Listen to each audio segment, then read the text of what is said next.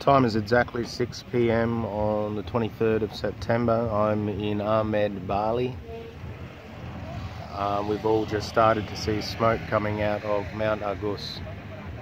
Um, there's been a warning now for the last four days, five days possibly. We've gone from level 2 to level 3 to level 4.